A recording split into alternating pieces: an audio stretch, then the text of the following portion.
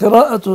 سورة البقرة على الماء ورشه على الجسم لم يرد به دليل عن النبي عليه الصلاة والسلام